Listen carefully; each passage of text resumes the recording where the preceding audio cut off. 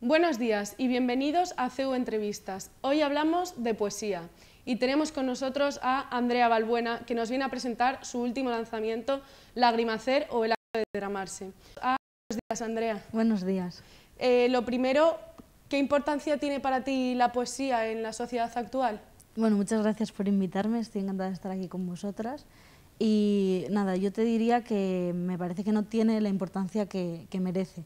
Creo que la poesía es un género que puede ayudar mucho a la gente en general, sobre todo eh, porque trata el, el, tema de las emociones, la sensibilidad, que es algo que todos eh, como que experimentamos y que tenemos en nosotros, que nos influye mucho en nuestra vida, las emociones y, y lo sensibles que somos al mundo. Y me parece que la clave de entender eso, entendernos y a lo mejor adquirir las herramientas que nos ayuden a eh, gestionar bien esas emociones está en, en, la poesía. Qué bonito eso que nos cuentas, Andrea, y ahora seguimos hablando de poesía contigo, pero primero voy a presentar a mi compañera Carolina Rodríguez. Buenos días. Muy buenos días. Eh, muchas gracias por venir, Andrea. Yo estoy encantada de tenerte aquí y me enternece mucho lo que dices. ¿Qué o quién te inspira a ti para decir esto que nos cuentas en tu libro? Bueno, pues sobre todo eh, las lecturas, eh, las lecturas de otros poetas. Yo eh, empecé leyendo mucho a la generación del 27, es donde están más o menos mis, mis favoritos, y pues Luis Cernuda, Federico García Lorca y autores como esos me, me, gustaron mucho desde el principio y es donde encontré un poco la inspiración para intentar hacer lo que hacían ellos.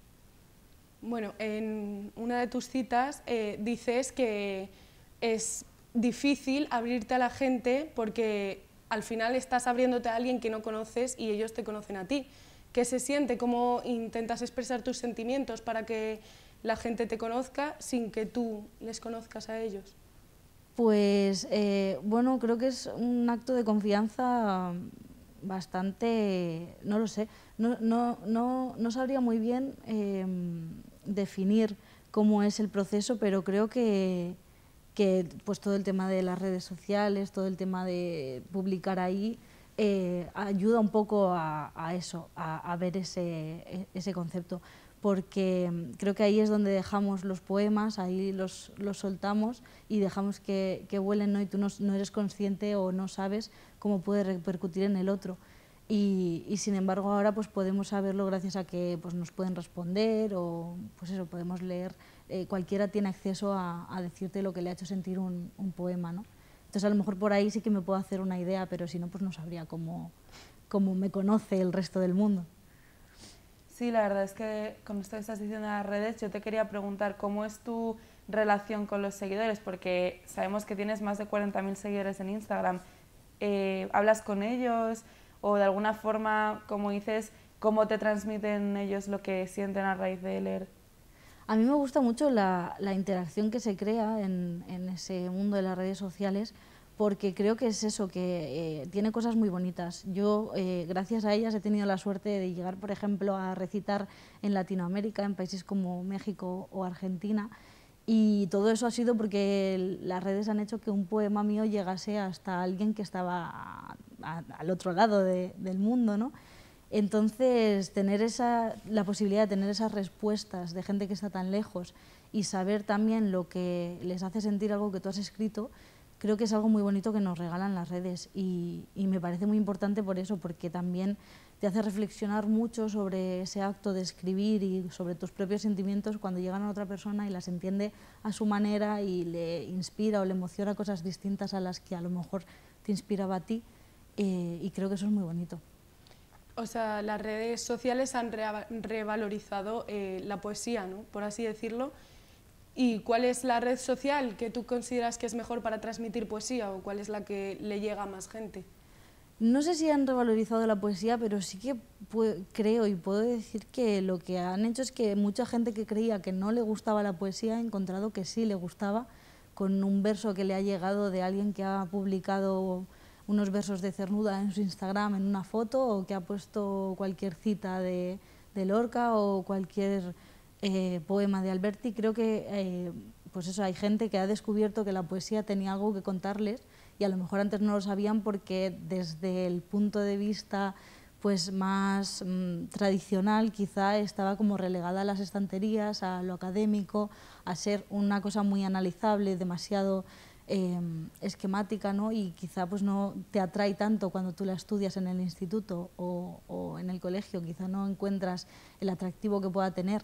Y sin embargo la estudias en un momento en el que eso, como decía al principio, tus emociones están a flor de piel y, y quizá sea un género que te venga muy bien para entenderte ¿no? y para comprender todo lo que te está pasando por dentro y todos los cambios que estás teniendo. Muchos poetas hablan de eso, eh, sobre todo en relación al amor. Creo que también pues eso, la adolescencia es un momento en el que se vive todo eso con muchísima más fuerza y me parece que la poesía nos ayudaría mucho a comprenderlo. Entonces eso creo que en las redes sociales han contribuido a que pues, mucha gente más joven, adolescentes, se den cuenta de que ahí tienen un mensaje que quizá les interesa y a lo mejor pues antes no, no pasaba. ¿no? Entonces no sé si la, la, ha revalorizado, pero sí que creo que la ha puesto un poco en el escaparate. Y Andrea, perdona, eh, tú hablas de obras tradicionales, generación del 27, pero tú también gracias a redes sociales o quizá por tu cuenta ves arte en otros tipos de poesía, como puede ser poetas modernos o quizá incluso el rap o cosas así, que también es una forma de expresar estos sentimientos. ¿Tú todo eso cómo lo ves? ¿Te interesa ese tema? Sí, claro, por supuesto. Creo que hay, creo que hay gente pues, eh, muy, muy interesante también en esos, en esos géneros y en esos ámbitos. A mí me gusta mucho, por ejemplo, Rafael Lechowski, que es un rapero que me encantan sus letras. Y, no sé, creo que sí, que ahora la poesía pues, ha tomado en este siglo muchísimas formas distintas y me parece que donde está la riqueza es en esa originalidad, que ganamos mucho por ahí. Bueno, ¿y tú crees que la poesía eh, tiene algún género? ¿Es más difícil escribir para hombres o para mujeres? Eh, o ¿Cómo consideras tú escribir? A mí me parece que no, que es imposible que la poesía, que la novela, que cualquier género tenga género. Creo que, que eso es algo pues, que no existe porque me parece pues eso que lo que se escribe es humano, es, es, tiene su propia personalidad y no se puede relacionar no se hace poesía de mujeres o poesía de hombres. O, eso, creo que esas clasificaciones no, no existen y que cualquier poema, sin saber quién es el autor, te puede llegar de una manera especial y emocionarte, seas lo que seas. Así que eso. Bueno, y enfocándonos un poco sobre, bueno, que te estás preparando ahora eh, las oposiciones para ser profesora, ¿crees que en la escuela se fomenta lo suficiente eh, la poesía y que los alumnos y los jóvenes lean poesía y que se interesen por lo que la poesía cuenta? Pues, eh, pues no lo sé, yo creo que siempre, bueno, hay excepciones, no sé si es algo generalizado, pero sí que creo que sí que hay gente que lo intenta.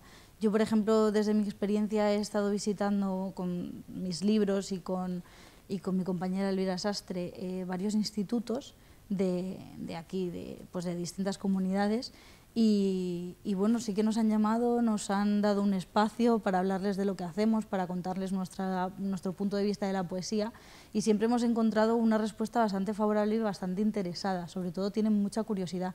Entonces creo que sí que hay profesores que, que fomentan eso y que intentan que, que, a sus alumnos pues, les atraiga de otra manera la poesía con esta, este tipo de iniciativas o actividades eh, y eso. Bueno, y para terminar ya, eh, quería preguntarte que si tienes algún poema o algún libro que te guste en especial y bueno, si nos puedes leer parte de un poema o un poema así que Claro, por supuesto. Eh, hay, bueno, mi poema favorito de toda la vida es uno de Cernuda, que se titula Si el hombre pudiera decir lo que ama. Tiene unos versos finales que son preciosos y que dicen algo así como tú justificas mi existencia, si no te conozco no he vivido, si muero sin conocerte no muero porque no he vivido. Yo eso lo leí en un libro de texto en tercero de la ESO y para mí fue como describir el momento que yo estaba atravesando, ¿no? me, me, me emocionó mucho y me sentí súper identificada. Y fue con el que empecé a escribir cosas como esta que os voy a leer, que se titula Las noches sin luna en los besos.